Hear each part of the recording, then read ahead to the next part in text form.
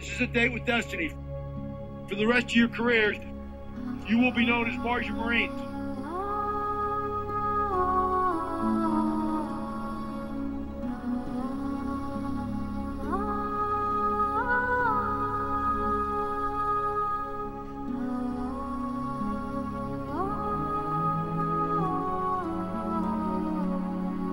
Tonight, it has begun. What some U.S. troops are calling D-Day in Afghanistan. The Marines on the outskirts of Marjah got their marching orders. U.S. and allied forces are pressing ahead with the biggest offensive of the war.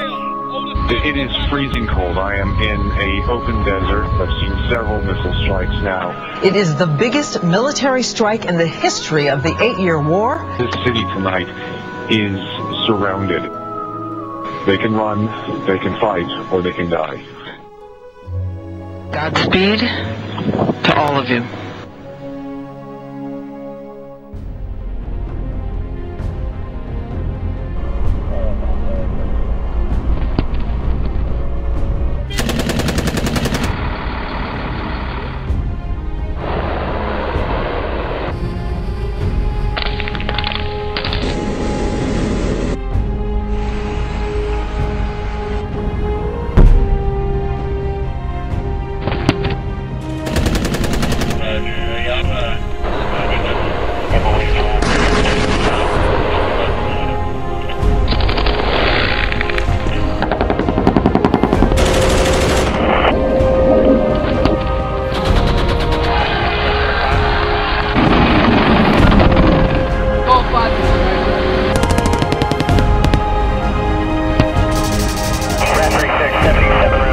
Yeah.